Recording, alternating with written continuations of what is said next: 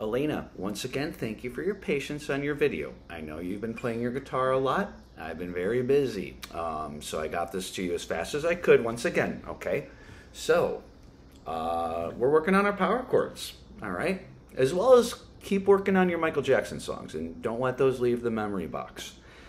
All right, so just a little review here. You got your first power chord, your E. Boom, right there. You're very good at that. Next one, three and five. Okay. Always going down, not so much up with your strumming. Down, okay? All right.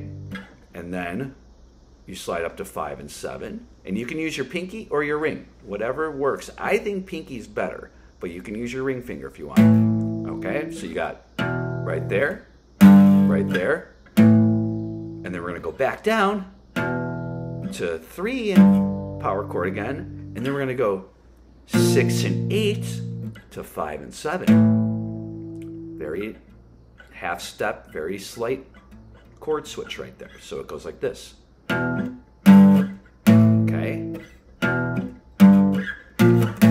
All right. And then we got back down to your E to three.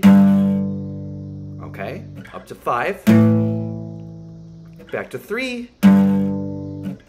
Back down to E. The whole thing. I'll play it very slowly for you. All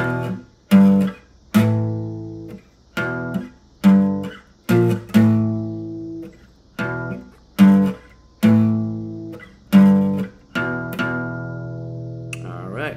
And as we discussed, power chords are kind of a workout. They make you powerful. I'll see you next week. Keep practicing your guitar all the time. You're doing great.